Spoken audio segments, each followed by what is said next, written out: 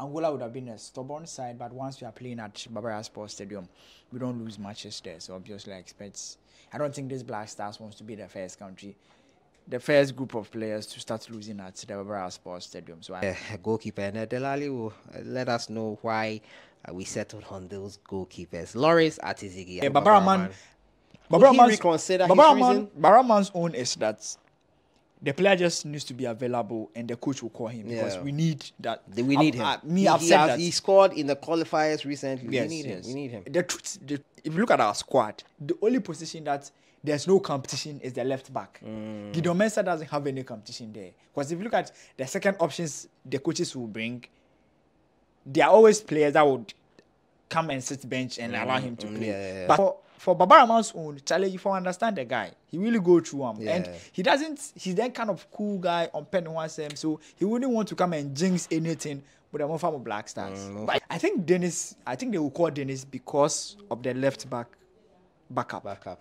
I think. Well, hey guys, welcome back to the channel. This is the final episode here in our possible squad for the Angola and Niger game. Ghana versus Angola and also um, Niger in the AFCON qualifier double header. We're looking at the forwards today. We've done uh, defenders, goalkeepers, midfielders. Today is a 10 of the forwards. Goal scoring has been a bane for the Black Stars in recent times, especially following the retirement of Bibi Jata Jan.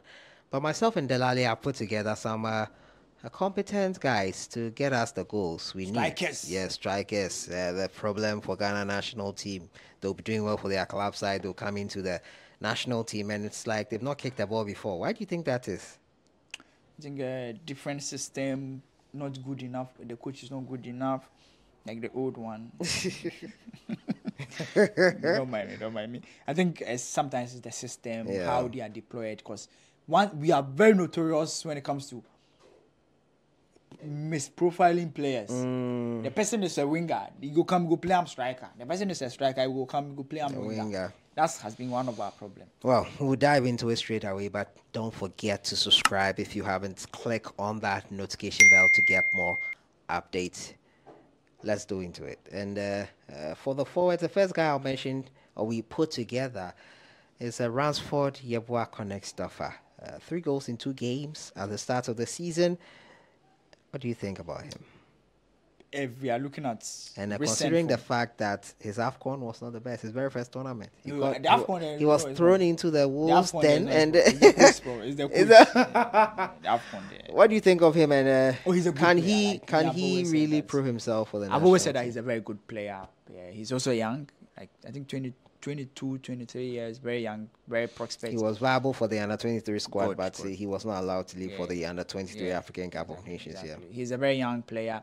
If you look, if you are, if we think Kamaldeen Sulemana and the likes are prospects, he's also one of them players mm. for the mm. future. I think unfortunately the Afcon was not great, but he has come back very well for his club side. He's doing well. Good for him. The season started a bit earlier than the usual, and he has proven that he's a very solid player. At least based on the forwards we have and some of the injuries we are, we are having, I think uh, Otto Addo should consider giving him a call up. Mm. Iñaki Williams, uh, great season with Athletic Bilbao. He comes to Ghana and uh, they don't spot his runs.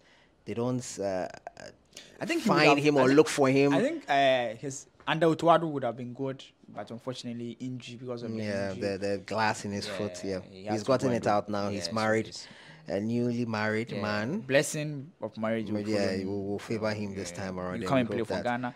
I think obviously solid striker. striker yeah. yeah, we we he needs he needs to work for him in Ghana because he's not a young player. He's not somebody that age is very friendly to him.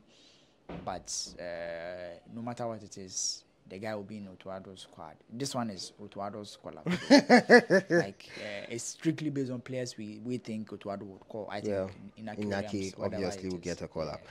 Brandon Thomas Asante, we got a snippet of him for yeah. Ghana in that win, a mm. comeback win versus Central African Republic.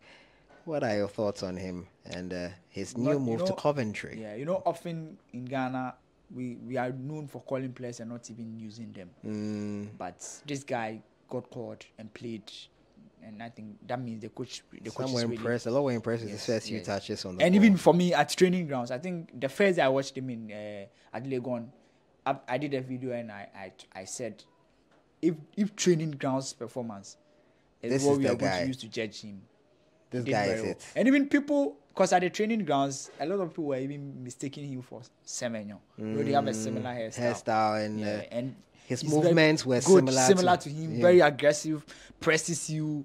So I think he will, he will get a call up again. mm, interesting. Issahaku, Oh yeah, debutant in the yeah. Premier League. Yeah, Shako. Great coach season. Leicester. He played two games under to, uh, Chris Hughton. Uh, sorry, Otto Addo. Tuadu, yeah. I think he would call him again. And he showed his form too as well. Yeah, yeah, yeah. So Jordan Ayew? Yeah. Now, is your number hat-trick. nine. The last time the last time. Ghana scored hat trick. striker scored hat trick. Senior striker. I Uh, think Baby Jet has scored a lot of doubles, but never never a scored a hat trick. I think nine doubles, if I'm not mistaken. That's crazy. Never a hat trick. Jordan, obviously, your top level striker. He's going to be there. He has And, to be uh, there. He has to be there for you. He has to start. Oh, hey. Right now, Against he's Mali, he didn't start. Came on and got us the I think so against Mali, Otto Addo wanted to do something different. different. It wasn't Yeah, working out, and he brought him on. he brought him on and And he made, experience. he made an impact. Yeah, so- Osman Bukari is the final one on our list here. yeah I think uh, he was part of the team. And Unfortunately, he's, because of he's the, the MLS the too. MLS move, so he couldn't had play. Uh, So they have to uh, get him to settle down. Usman Bukari is also one of the players that the coaches really like. Otto Addo really likes him, and I think uh, he's not a bad player. Hmm. He's he he provides a lot of width, and he's very direct. yeah, direct. Yeah. uh, he's one of them players that find goals as a winger. So his coaches always prefer to use him. So I think so far, unfortunately, Kamaldeen, I'm hearing that he's injured again. Mm. So I think because of that, they would they would take him out, so he won't make the squad. So far, So those, those those look like solid forwards, oh yeah, and should be able to get us the six points. oh yeah. As for the six point there, We are getting me- it. Yeah, even me and you cry, then use we go player.